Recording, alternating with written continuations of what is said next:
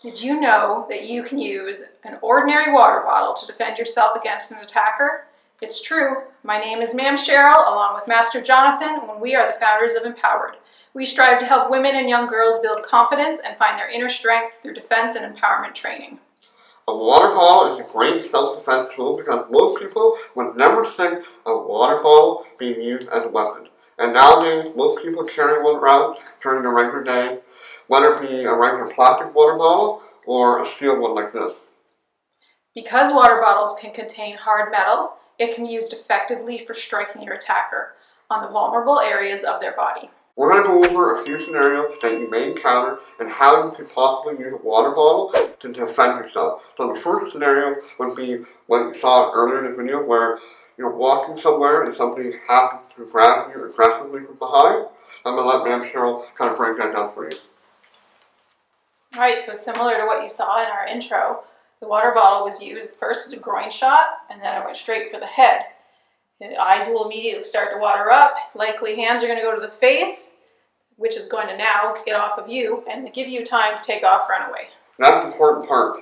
The second uh, your assailant is off of you, you're escaping the situation. Don't wait around and see what happens. Alright, so now we're going to fill off the initial scenario where the first one was she already knew that I was the aggressor. This time I'm gonna grab her shoulder. She's gonna turn around. That's when she's gonna realize that I'm the aggressor. Because a lot of times, somebody might put their hand on your shoulder, and you're just not gonna turn around and hit them, unless there's something wrong with you. So this one is a little more relaxed and becomes more aggressive. All right. Right, so if I'm just walking and someone grabs my shoulder and I turn around, it's your initial reaction, and then, then they become aggressive. So at my bottle, you can either with the top or bottom, right up anywhere up the middle. You got the groin, you got solar plex, throat, or face. Any of them will be enough to cause enough impact to get their hands off of you and take off. Like we said, you always want to hit multiple vulnerable areas. So, being, being from I swear with Ma'am Cheryl, she, like I said, easily had access to groin, solar plex, throat, and almost anywhere in the face will work. So just two shots real quick. But the whole idea on this one, again, you didn't know the situation was aggressive until it escalated. Are you looking to switch up your fitness routine a bit? Check out our new Fit 12 by Empowered, the 12-week fitness program that challenges your upper and lower body, strengthens your core, and improves your cardiovascular health in 30, 40, and 50 minute workouts, designed to help you reach your fitness goals. Check out Fit 12 in the description below now back to the video. Alright, the next scenario is going to be where nothing's really happened yet, but the female is feeling like something's about to happen. Remember, you don't have to wait for somebody to physically harm or touch you to defend yourself. So this is more of a preemptive strike where I'm going to be the aggressor kind of getting in Ma'am Cheryl's face, and she only has the option of defending herself versus having the ability just to walk away. Mm -hmm.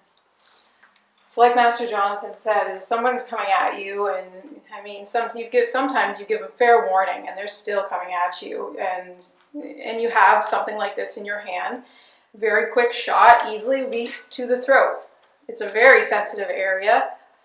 I think if you feel if you feel around that area yourself, it is very sensitive. So just a quick shot should be enough. They get their put their hands to themselves now and gives you time to at least run away and give you give yourself that distance.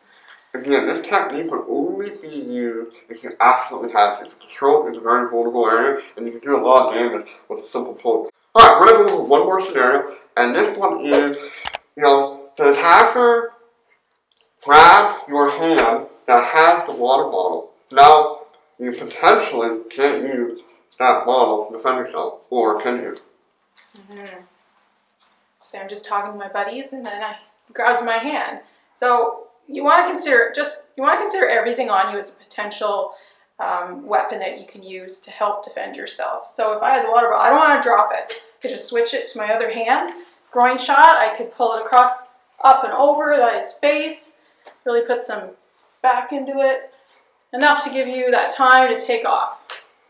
Yeah, naturally, uh, my mindset, if I was the attacker, I would naturally grab the side that had this. Because now I know that this is kind of all free occupied, If she were trying to hit me right now. She can't. Nothing stops me from her grabbing it, but when low first, and then coming high, because she hit me low first, and she saw my hand naturally drop, and she can clip inside the head. You just go anywhere to the head. It's gonna be effective. And then after that one shot, you escape. We hope you enjoyed today's video and remember to subscribe for all our future videos.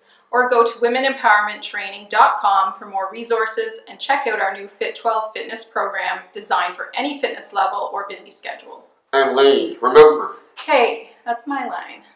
And ladies, remember you have the right to defend yourself and you are worth defending.